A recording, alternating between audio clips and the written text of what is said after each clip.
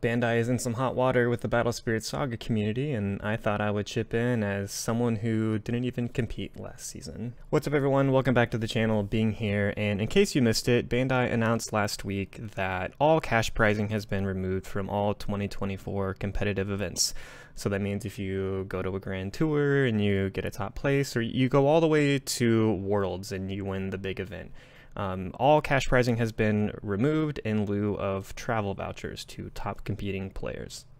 Now, travel vouchers didn't come out of nowhere. We saw this in a video back in January where Bandai released on their card game channel that um, top competing players could be expecting travel vouchers from these events. But the issue is that in that same sentence, they also said this Pro Tours become Pro Fests, an invite only event with cash prizes and travel vouchers to the World Championships on the line. So, despite the fact that Bandai wants to say that there was some confusion caused by information that was on their website or in this particular YouTube video, I would actually just like to point out that um, there was no confusion. Uh, we were told two uh, conflicting pieces of information, and uh, we were just kind of expected to follow along and be okay with it. Look, I understand that the cash prizing for year one was excessive. Investing a million dollars in a game where it's really only known public information about it is the fact that it's been shut down once before was uh, a gamble at best. Um, but at the same time, you have to consider that, I mean, even though a lot of money was invested in one year, um, I mean, it kind of worked. And when I say that, I mean that the fact that this game has the community that it does speaks for itself. I mean, the subreddit has people constantly asking questions. There are uh, even more people willing to answer them. Uh, there are plenty of YouTube channels um, who are making content just out of pure enjoyment for the game. And uh, there's no shortage of Discord channels where if you don't have a big enough community around you, you can get online and you can play it within those channels. I think it's pretty clear that the game is fun, and even though it maybe didn't have the impact that a million dollars in cash prizing um, could have had, uh, I think the fact is, is that the game is still growing. Um, you know, just in, in, my personal experience, I feel very fortunate to have a very strong local community. But at the same time, back in October, November, I mean, there were weeks where it was just me and three other people that showed up to our locals. But as time has gone on, we have a pretty consistent turnout of like 12 to, I mean, sometimes as much as 18 people, which is phenomenal.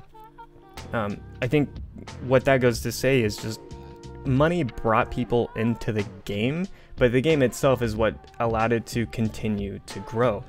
Um, it's a game that is interactive, it's nuanced, it's uh, with or without cash prizing, it, it, it feels rewarding to play. Making this announcement the way that it was done was probably the biggest crime of all, but I'll go ahead and say it that it honestly doesn't surprise me to see that cash prizing was removed from these events. That's not even coming from a confidence level in Bandai, although it's hard to say with that with this, you know, L that it's, you know, confidence levels aren't dropping. Um, I just think from a business perspective, this game doesn't justify having so much money in cash prizing. Now, before I tell you where I land on all this, I think it's important to know that I didn't get into the game because of the money. By the time that I started buying into it, I had no idea that so much money could be won, but I mean, by the time that I found out, I mean, I won't be lying when I said that it definitely boosted my interest in the game, right? Uh, after all, I enjoyed learning the game, I enjoyed playing it, and the fact that I could travel to other places and make money to play this game was uh, very attractive, to say the least. But I told myself that I would set out for season one, I would learn the game through and through, and then I would start competing in season two.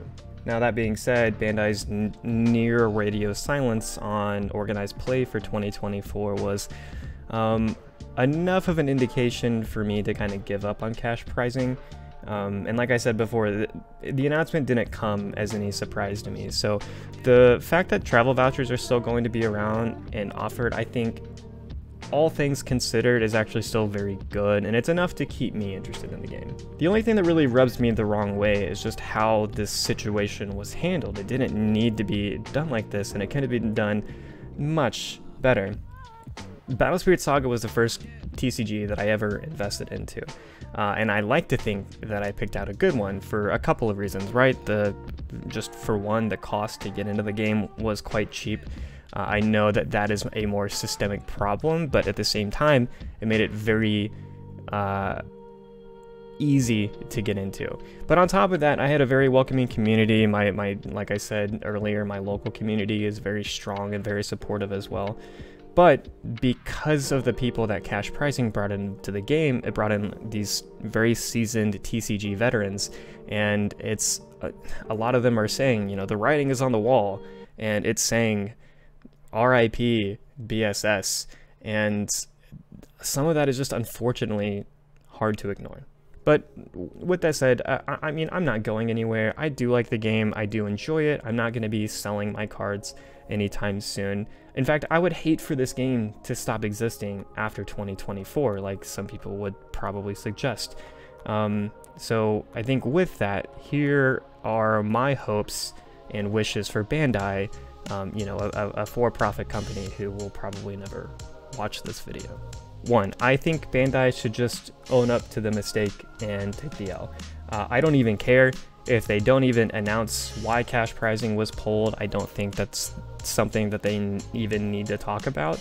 But I think they need to recognize that there wasn't misleading information. It was just, it was conflicting. They obviously changed their mind at some point, and that's okay. Um, they should just say sorry. Two, I think Bandai needs to advertise the hell out of this game. I originally learned about this game through a sponsored ad on one of Critical Role's episodes. And so I think Bandai needs to recognize that influencer marketing can have a considerable impact, it's just that advertising can't really stop. 3. Bandai needs to work towards making distribution a lot less of a headache. I'm not even going to pretend to know like I have an answer, but if this game is ever going to support a $1 million cash prize pool uh, in the future, then Bandai needs to make it so people don't hate trying to buy this product when it releases. Lastly, the communication between the community and Bandai just needs to be vastly improved. I don't think it's right for people to, you know, go on comment campaigns on Facebook and beg for information on X, only for it to just lead to a bomb of an announcement like this if I can make any kind of recommendation, it would be, you know, having a forum directly on the Battle Spirits website where someone from Bandai can directly re reach out to people who are asking questions there. Um, that may not be the most feasible and maybe it's asking too much, but I think given the circumstances, I think we're kind of owed a, a more streamlined avenue of communication. Maybe I'm being naive and I'm asking too much, but I really do hope that this game will continue to see growth, and I hope that improvements can be made to avoid situations like this in the future. The game is a ton of fun, and it has an extensive history in Japan that I know people would love to see the mechanics from that version make its way into Battle Spirits Saga, and the only way that it can do that is, is if this game continues to exist. But time will tell on that one, and even though there are people out there who are saying that this game doesn't have a lot of time left on it, uh, I'm going to continue to believe otherwise. I'm going to continue to have fun with it, and I'm going to continue to play it and make content on it. Let me know what you think in the comments down below, and with that, I will leave you there. Thank you so much for watching. Be safe, be happy, and I'll see you in the next one. Peace.